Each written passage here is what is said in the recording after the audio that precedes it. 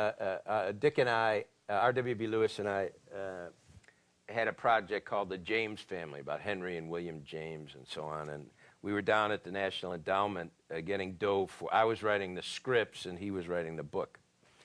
And uh, we, while we are down there, uh, Dick uh, was called out of the room while we were pitching. And we finished, and uh, afterwards we went out and we had uh, some coffee. And I said, Well, I think it went pretty well. Bah, bah, bah. We're talking for. About 10 minutes in, he said, Listen, when I was called out of the room, uh, they were telling me that your father had died and uh, had taken his life, and his, and his instructions were that you were not to be told until after the pitch was finished. Um, the uh, just to go into a uh, to be absolutely inappropriate in, in describing the kind of torment that uh, some souls are exposed to. Uh, my dad was the only child of the eldest of 10 children. And her name, as I say, was uh, Sapowich, her last name. And uh,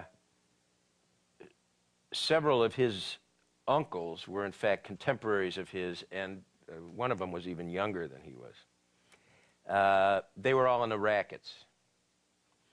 Uh, but because he was of the next generation, he had to go to college and he became a very prominent surgeon and a professor of surgery, and, uh, as did my brother, my, my older brother.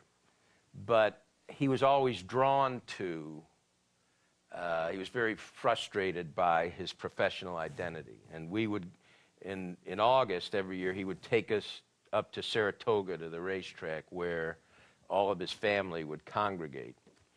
And uh, I remember, you might be old enough to remember this. There was a, the Kefauver hearings, which are dramatized in The Godfather, where they're tested, where the, the, Congress is doing an investigation into the mob. And I remember the real Kefauver hearings.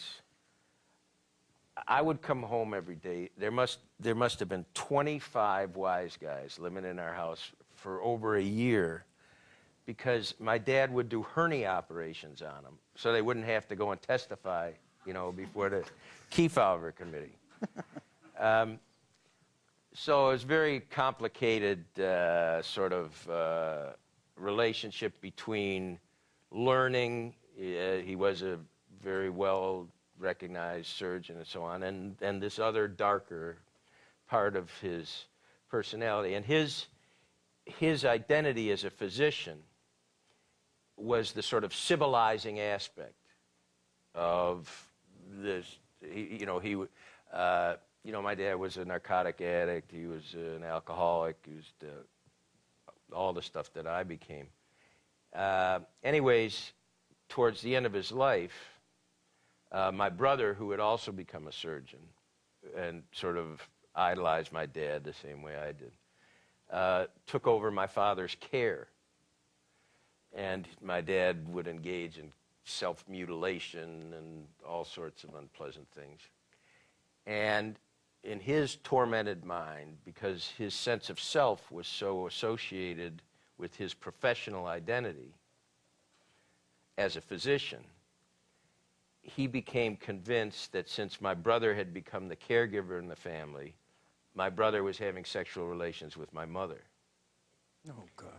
And took his life in front of them to punish them for that. This and, is worse than Deadwood, David. And uh, uh, and then his last words were, "Don't tell David until he's done." Oh. With with his with his pitch.